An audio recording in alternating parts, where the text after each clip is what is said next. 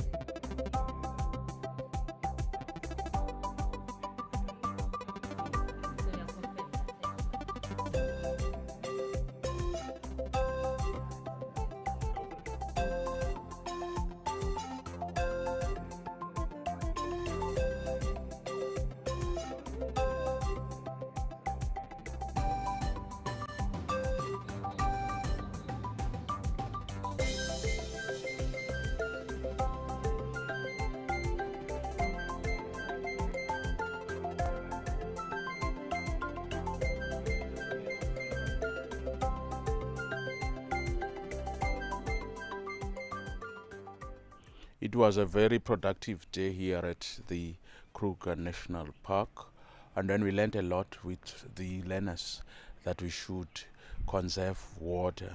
I've learned about preventing water, water losses. I've learned how I'm going to tell people to to look forward on preventing water and everything that they do on the usage of water. So I've learned that we must use water very usefully and very wisely because it's essential to us. I had a lot of fun the game taught me a lot of things about water conservation. It is a kind of message that I will pass to the friends and the community so that they can know what, how water is important to us and how to save water. The overall, I would say today was a success. We hosted the grade 11s and they were so awesome to host.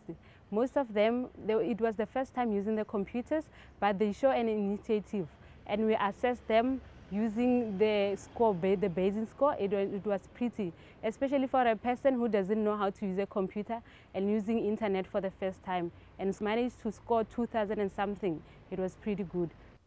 So today was really interesting experience.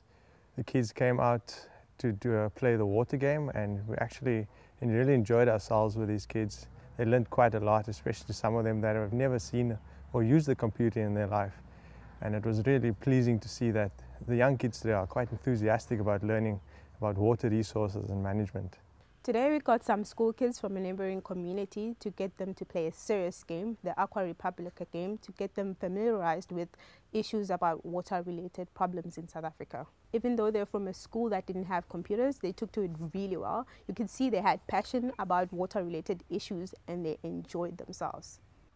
We, as South African National Parks, and society face a range of water resources management challenges.